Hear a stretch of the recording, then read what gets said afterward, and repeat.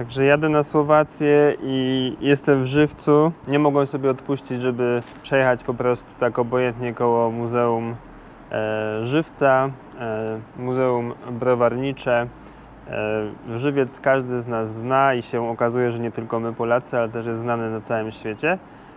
No i właśnie odbyłem sobie taką wycieczkę, która zajmuje około godzinę czasu i kosztuje 40 zł.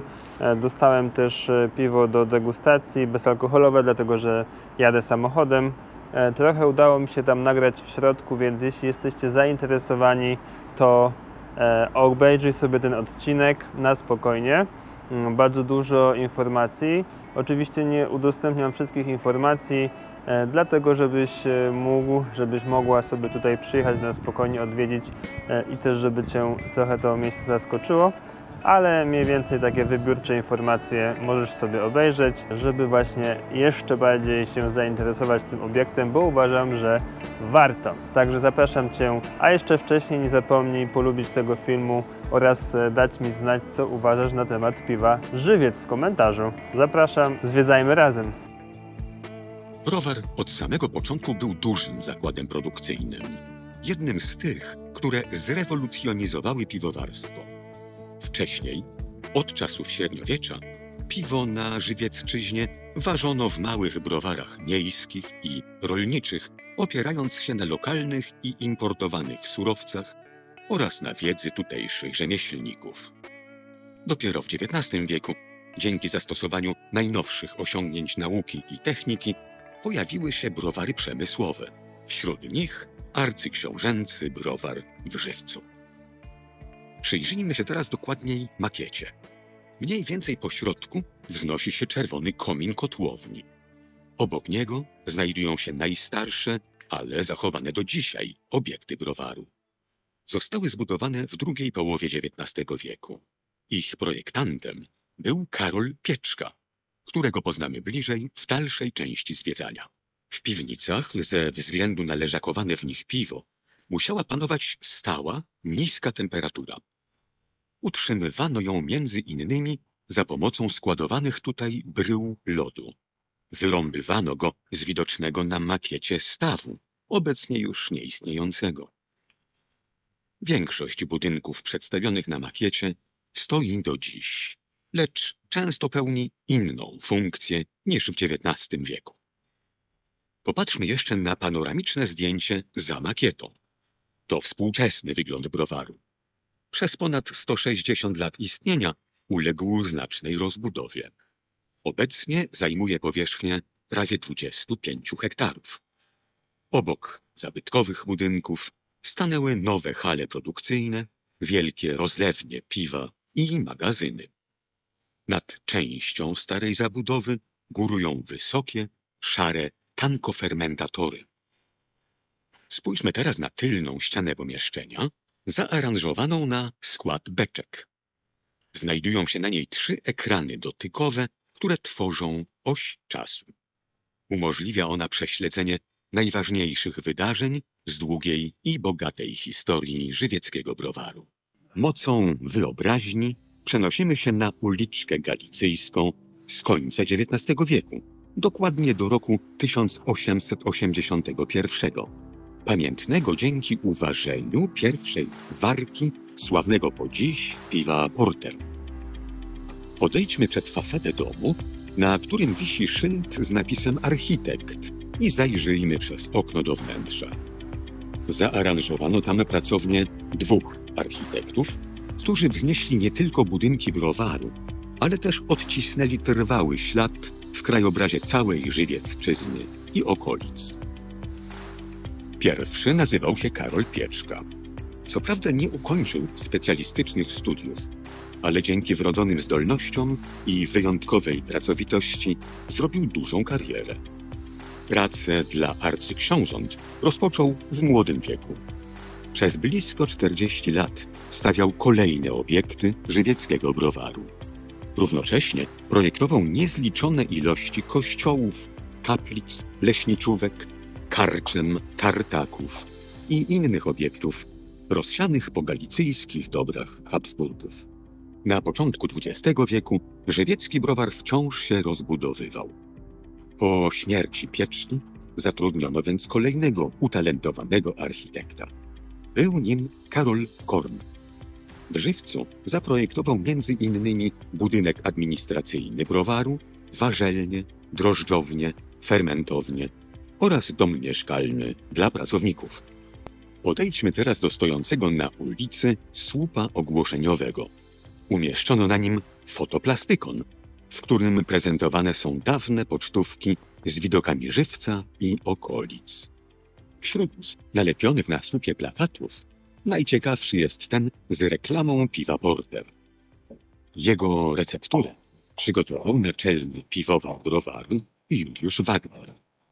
Na drugim afiszu, niżej, możemy przeczytać, że żywiecki porter jest polecany przez powagi lekarskie jako znakomity środek odżywczy dla osób anemicznych, rekonwalescentów.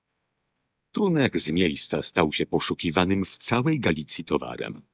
Klienci z wytęsknieniem oczekiwali przybycia wozów załadowanych beczkami z porterem.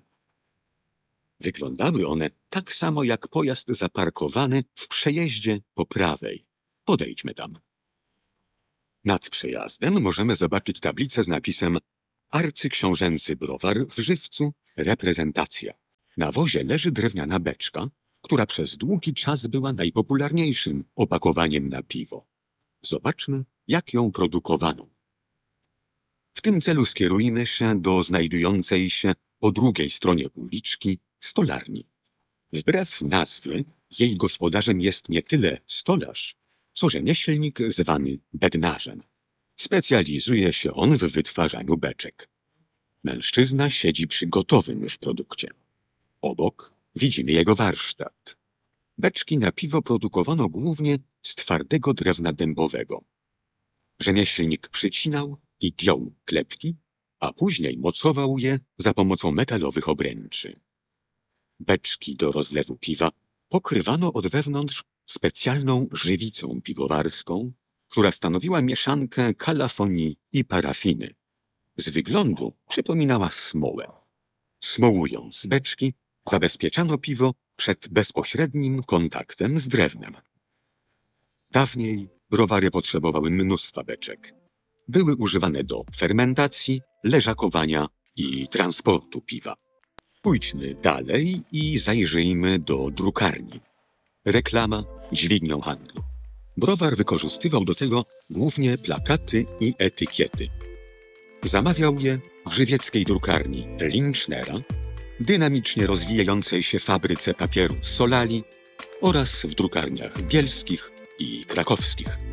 Etykiety eksportowych serii piw, takich jak Porter i Ale, sprowadzano aż ze stolicy cesarstwa, czyli z Wiednia. Odwiedźmy jeszcze znajdujący się naprzeciwko drukarni sklep kolonialny. Stańmy w jego drzwiach, by przyjrzeć się temu, co oferował. Nazwa kolonialny zobowiązywała. Na półkach w szafce naprzeciwko widzimy więc między innymi pojemniki z kawą z Ameryki Południowej i Afryki, puszki z herbatą z Chin, Indii czy Ceylonu oraz naczynia z przyprawami. Te egzotyczne i drogie towary, sprowadzone z zamorskich kolonii europejskich państw, nadawały sklepowi wyjątkowy charakter. Wcale jednak nie dominowały. Nie brakowało alkoholi, w tym piw żywieckich. Mieszczenia widzimy duże miedziane naczynie. To stara kadzi zacierna, wykorzystywana na początkowym etapie produkcji piwa. Proces ten odbywa się w warzelni, którą śmiało można nazwać sercem każdego browaru. Obróćmy się i podejdźmy do dużej tablicy informacyjnej, wiszącej na prawo od wejścia. Dwie duże fotografie po prawej stronie planszy przedstawiają naszą nową i starą warzelnię. Obydwie są czynne. Jak widać, naczynia z miedzi zostały zastąpione stalowymi. Służą jednak do tego samego, czyli do zacierania, filtrowania i ważenia. Poświęćmy temu procesowi chwilę uwagi. Zacieranie polega na mieszaniu rozdrobnionego słodu z wodą w odpowiednich temperaturach, w efekcie czego powstaje zacier.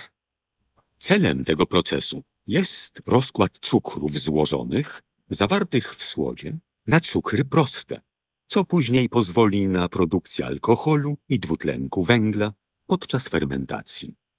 Po zacieraniu następuje filtracja. Odbywa się ona w kolejnej kadzi. Wyciąg słodowy, zwany brzeczką piwną, oddzielany jest po prostu od resztek słodu, czyli tak zwanego młuta. Wreszcie, w trzecim etapie, odfiltrowany płyn, czyli brzeczka piwna, trafia do kadzi warzelnych. Tam waży się ją, czyli gotuje, dodając chmiel. Cały trzyetapowy proces produkcji brzeczki zwie się w piwowarstwie warką. Przejdźmy na drugą stronę sali pod tablicę zatytułowaną Fermentacja i leżakowanie. Po drodze spójrzmy do wnętrza miedzianej kadzi, gdzie zaprezentowano proces zacierania. Aby bezalkoholowa brzeczka stała się piwem, musi przejść jeszcze dwa procesy. Pierwszym jest fermentacja. Dochodzi do niej po dodaniu drożdży do schłodzonej brzeczki. Te mikroorganizmy przetwarzają cukry proste ze słodu na alkohol. Równocześnie powstaje dwutlenek węgla. Kiedy drożdże wykonają już swoją pracę, tak zwane młode piwo trafia do leżakowania, aby dojrzeć, nabierając smaku i aromatu. Dawniej fermentacja i leżakowanie odbywały się w dwóch odrębnych zbiornikach, kadziach fermentacyjnych i kufach leżakowych. Obecnie oba procesy zachodzą kolejno w jednym zbiorniku, tankofermentatorze. W browarze jest ich kilkadziesiąt. Możemy je zobaczyć na pierwszym okrągłym zdjęciu po lewej. Każdy tankofermentator ma pojemność kilku tysięcy hektolitrów, czyli około jednego miliona butelek. W kolejnym etapie piwo jest filtrowane przy użyciu ziemi okrzemkowej. Potem następuje kontrola jakości w zakładowym laboratorium. Wreszcie trafia ono do oddziału w rozlewni, gdzie podlega obróbce termicznej, czyli pasteryzacji. Dwa miedziane pojemniki na czarnych stelażach nazywamy katkami do drożdży. Otwarta katka służyła do propagacji, czyli namnażania komórek drożdżowych, a zamknięta do ich przechowywania. Dlatego teraz przenosimy się w wyobraźni już do niepodległej Polski, do restauracji żywieckiej z lat 30. Sąsiaduje z nią kręgielnia, jedna z rozrywkowych nowinek okresu międzywojennego. Spójrzmy teraz w stronę wejścia. Na ściance po prawej zobaczymy duży czarno-biały portret mężczyzny. To arcyksiąże Karol Stefan Habsburg, drugi właściciel browaru. Żywiecki zamek uczynił główną rodową siedzibą. Nauczył się języka polskiego i wychowywał swoje dzieci w szacunku dla polskości. W czasie I wojny światowej był nawet kandydatem na króla Polski. Nic z tych planów nie wyszło, ale po wojnie arcyksiąże został wiernym obywatelem odrodzonej Rzeczypospolitej. Browar w tym czasie urósł do rangi jednego z najważniejszych graczy na krajowym rynku piwa. Zawdzięczał to rozumnemu zarządzaniu i prowadzonym na szeroką skalę akcjom reklamowym. Restauracje z ekskluzywnymi wnętrzami, takimi jak to, w którym jesteśmy, działały w największych miastach, w najlepszych lokalizacjach. Browar dostarczał im kompletne wyposażenie barów, szkło firmowe, galanterię reklamową, lustra, kalendarze i tym podobne. Podejdźmy do bufetu. Wisi nad nim kolorowy neon. Nawiązuje on do prestiżowej restauracji Żywiec w Warszawie. Zajrzyjmy teraz do gablot w ladzie. Eksponowane są tu innymi tekturowe podkładki z nazwami żywieckich piw. Obok podkładek znajdują się również liczne przedmioty związane z codziennym funkcjonowaniem zakładu. To chociażby dokumenty reprezentacji browaru, dokumenty przewozowe, faktury czy cenniki. Jesteśmy w sali z ekspozycją zatytułowaną Trudne czasy. Zatrzymajmy się przed gablotą ustawioną przy wejściu do pomieszczenia. Zgromadzono w niej między innymi tablice reklamowe, butelki, podkładki, dokumenty i inne pamiątki z czasów II wojny światowej. Po agresji Niemiec na Polskę w 1939 roku Żywiec został włączony do III Rzeszy. Okupanci zmienili nazwę miasta na Zajbusz. Browar otrzymał niemiecki zarząd i nazwę Beskidenbrauerei Zajbusz. Na etykietach pojawił się Tyrolczyk. Produkowano tu piwa jasne pełne Zaibuscher Quell i Beskiden Gold oraz niewielkie ilości piw Porter, Ale, Export Dunkel i Malzbier, czyli piwa słodowego. Skupia się ona na tak zwanych stylach piwnych, czyli ogromnej różnorodności współczesnego piwowarstwa. Piwa dzieli się według różnych kryteriów. Najczęściej stosowanym jest rodzaj fermentacji. W piwowarstwie wykorzystuje się specjalnie wyselekcjonowane szczepy drożdży. Z uwagi na przedział temperatur, w których pracują, wyróżniamy dwa typy fermentacji. A co za tym idzie, dwie obszerne grupy piw dolnej i górnej fermentacji. Wszystkie piwa górnej fermentacji określamy mianem ale.